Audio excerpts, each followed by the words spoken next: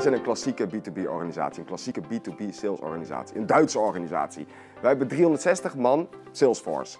Ja, hoe ga je die Salesforce nou activeren om de online shop te promoten? Door middel van die 360 buitendienstmedewerkers hebben wij kennis opgedaan. Ik wil die kennis met jullie gaan delen tijdens het Intershop Race the Bar evenement. Klanten willen niet misgrijpen. De producten moeten de winkel uit. Wij zijn een ster in voorradenmanagement.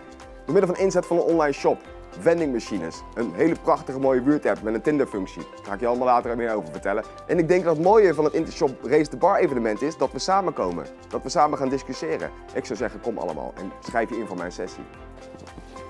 Race the Bar!